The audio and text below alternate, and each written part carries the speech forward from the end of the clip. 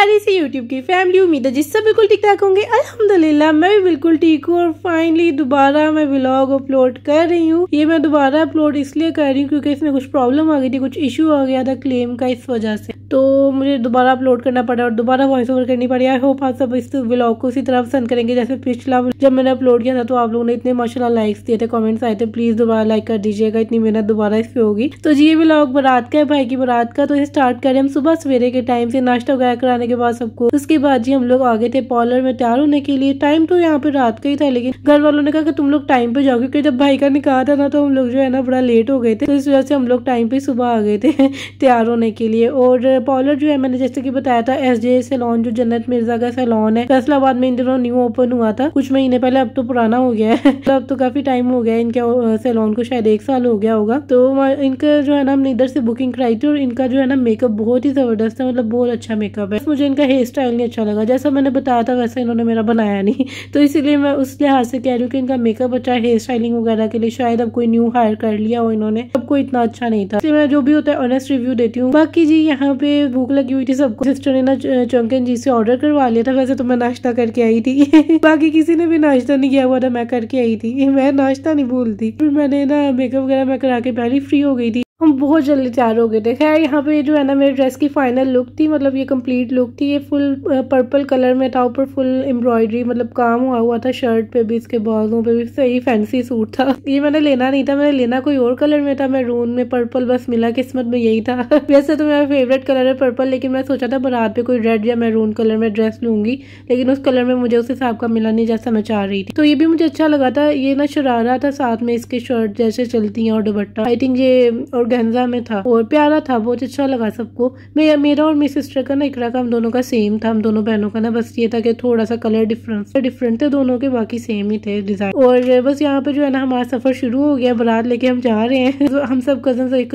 इकट्ठे थे ना इस वैन में मतलब पूरी फैमिली तो गाड़ियों में थे, हमने कहा वैन में जाते हैं तो इंजॉय करते हुए जाएँगे। इसमें सही मज़ा आ रहा था, हमें बातें करते हुए गए। हम सबने बहुत फन किया। शादी के दिनों में यही मज़ा होता है कि मतलब सब कज़न इकट्ठे हुए होते हैं और जो रौनक होती है ना उसका अलग ही मज़ा होता है। तो बस इसी तरह हम लोग जो है ना, बारात लेके पहुँच चुके थे और हम ना लेट हो गए थे। हालाँकि इतना सुबह से हम जल्दियों में थे कि यार आज टाइम पे जाएँगे। और हम तैयार भी थे मतलब हम लोग तैयार थे लेकिन लेट पता नहीं किस वजह से हुए थे। हम लोग घर भी पहुँच गए थे पार्लर से सारे तैयार होकर ना टाइम पे ही पहुँच गए थे और फिर लेट हो गए। खैर ऐसा अक्सर होता है, शादियों में ना, पाकिस्तानी फैमिली में तो हमेशा ही ऐसे होता है, सबको इकट्ठा करते करते बंदा लेट ही हो जाता है बारात लेके जाने के लिए। खैर फाइनली फिर हम लोग पहुँच गए थे और यहाँ पे जो है ना, हमारा वेलकम हो रहा था और सबका इंतज़ार कर रहे थे, बारात आधी आई थी आधी रह गई।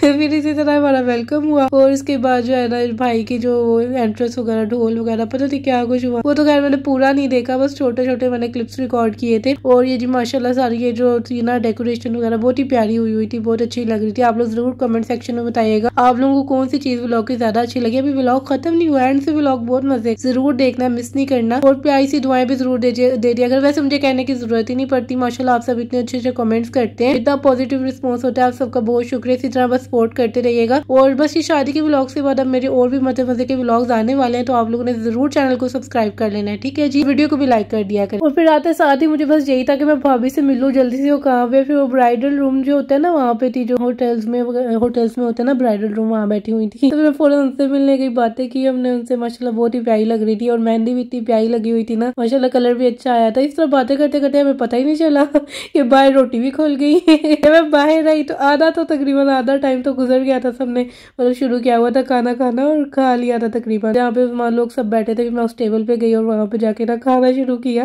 वैसे मुझे इतनी ज़्यादा इस दिन भूख नहीं लगी हुई थी, क्योंकि मैंने सुबह भी खाया था और फिर वहाँ पे पॉलर में भी खा लिया था। पर फिर भी मैंने सारा कुछ टेस्ट किया था। ऐसा होता शादियों पे ना बहुत लोग अक्सर इतना खाना जाया करते हैं, जैसे उन्हें दोबारा मिलना ही नहीं है, अक्सर लोग। मैं सबको नहीं कह रही तो अक्सर लोगों का ये होता है तो मैं यही कहूँगी रिस्क को ज़ाया नहीं करना चाहिए, ज़्यादा नाराज़ होते हैं तो इस तरह रिस्क में कमी भी होती है, इसीलिए इस चीज़ का ख्याल रखा करें। जितना आप नॉर्मल रूटीन में खाते हैं, खाया तो आपसे उतना ही जाना इतनी प्लेटें भर के वेस्ट करने का कोई फ़ायदा नहीं है, इसलिए उतना ही डालें जितना आप खा सकते हैं, ठीक है? इससे बहुत ज़्यादा गुनाह मिलता है। इतना इतना खाना ज़ाया हो रहा है ना तो इस बात का लाजमी ख्याल रखा करें।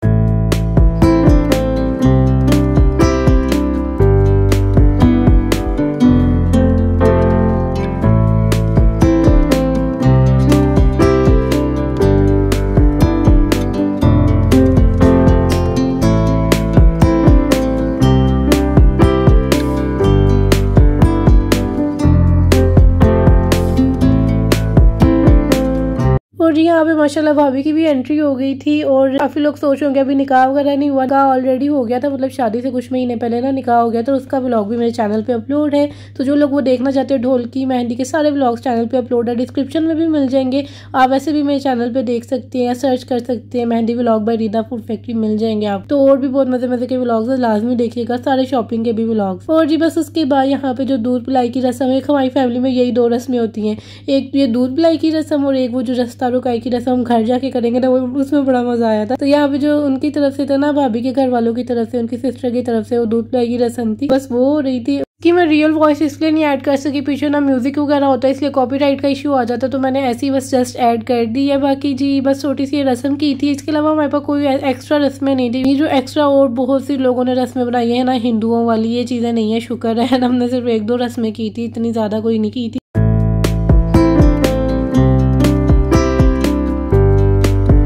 बस इसी तरह यहाँ पे ये बारात का व्लॉग एंड होता है और हम सब फिर जो है ना रवाना हो गए थे घर की तरफ़ और रुखती जो है ना सब बड़ों ने की थी मतलब हम बच्चे वगैरह सब आ गए थे वापस। तो बस इसीलिए मेरे पास वो रुखती वाली कोई वीडियो नहीं है क्योंकि हम सब पहले ही आ गए थे क्योंकि हमने घर आके जो है ना कुछ तैयारियाँ करनी थी वेलकम के लिए, उनके लिए हम खड़े हुए थे, इंतज़ार करे थे और उन पूछ रहे थे, कब आना अभी भी आ रहे हैं, अभी भी आ रहे हैं, पाँच मिनट पाँच मिनट। इस तरह जो है ना बस उनका इंतज़ार करते हुए एंट्री की हमने माशाला बहुत ही अच्छा रहा था ये दिन। उसके बाद जी मैं ऊपर मैंने कहा जाके रूम देखते क्योंकि मैंने देखा नहीं था कैसा डेकोरेट हुआ है। सुबह हम लोग पॉलर चले और जब गए थे, तब अभी आए थे तैयार करने के लिए ना ये रूम वगैरह को। माशाला जी, इतना प्यारा रूम तैयार हुआ हुआ है ना। तो इतना अच्छा लग रहा था, मैंने अभी देखा था मतलब जब मैं वापस आई ना, तब देखा तो बड़ा अच्छा लग रहा था। और रूम का ना वैसे मैं टूर आप लोगों के साथ शेयर करूँगी कंप्लीट तो एक अलग वीडियो आएगी बाद में। अब जी, आप लोग वो रस्ता रुकाएगी हमारी जो है ना फनी सी वीडियो देखे।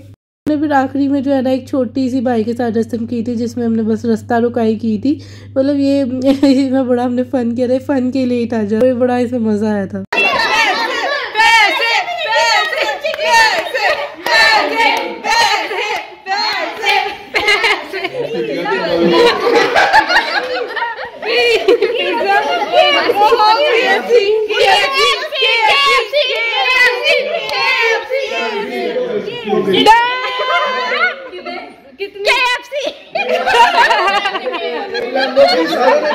सबको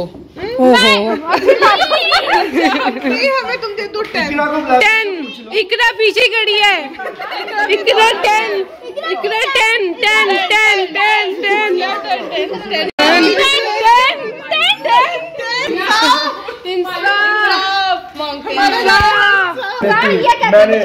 बात सुन मैंने तीन तक गिने तो हमने यहाँ पे इतना एंजॉय किया फुल वीडियोस नहीं है फुल वीडियोस बहुत ज़्यादा हो जानी थी। तो आई होप आप सबको ये व्लॉग पसंद आया होगा बताइएगा ज़रूर व्लॉग का कौन सा पार्ट ज़्यादा पसंद आया। अच्छा नेक्स्ट व्लॉग वलीमे का होगा ज़रूर देखना आपने चैनल को सब्सक्राइब कर लेना। प्यार सा कमेंट लाजमी कीजिएगा लाइक शेयर सब्सक्राइब अल्लाह हाफिज। जी हमेशा खुश रहे।